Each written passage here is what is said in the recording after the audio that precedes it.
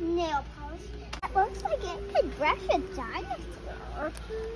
And another pack of glitter and another. So much glitter. I love glitter.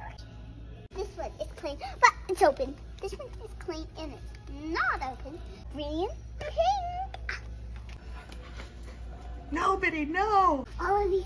It's a collection. I like lip gloss. Is this one? There's no highlight.